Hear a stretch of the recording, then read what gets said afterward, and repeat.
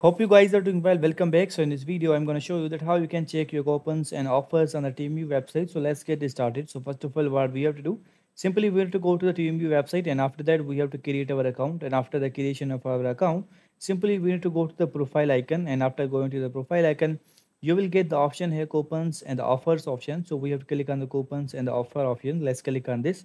And after clicking on this, we will be able to track them and we will be able to use them as well. So as you can see currently we don't have any kind of coupons or offers. You will be able to see all the used and unused and the expired options here.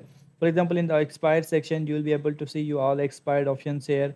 In the used section you will be able to see your used coupons and offers here. And in the unused section you will be able to see that what currently active offers or coupons you have. So as you can see if you want to apply any kind of one you can also do that.